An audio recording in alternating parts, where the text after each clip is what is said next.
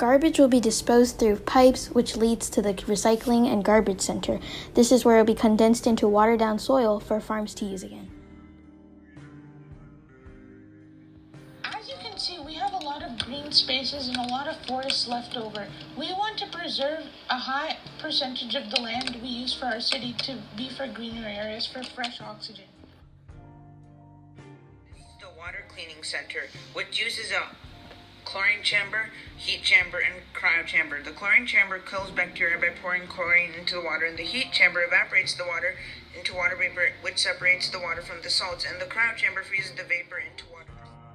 The solar power plant, which uses electromagnetic ultraviolet radiation energy from the sun to generate electricity for all the houses. Drinking water containment center, which stores the drinking water, clean drinking water sent from the water clean transportation devices use a hydroelectric fuel source. Recreation in the city is a roller coaster theme park and amenity center with a tennis court, pool, and dining area, library.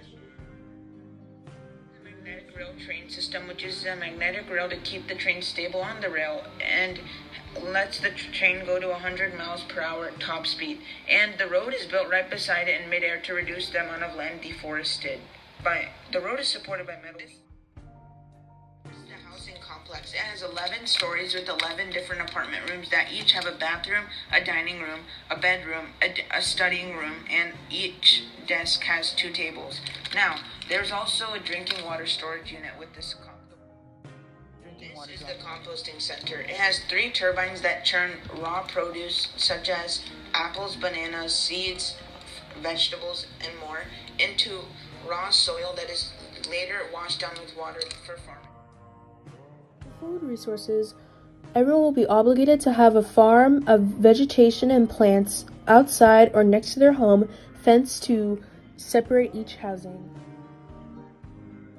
Job opportunities will include water treatment plant operator, farmers, medical field, teachers, principals, librarians, security police, cashier, store worker, caretaker, construction workers, plumbers, installation workers, engineers, architects, fashion designers, amenity center employee staff, composting, garbage, and recycling staff, housing complex, lobbyists, and room service.